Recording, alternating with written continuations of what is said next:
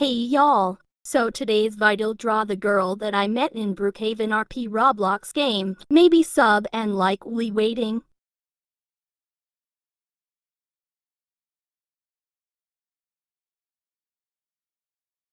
So yay that's all bye.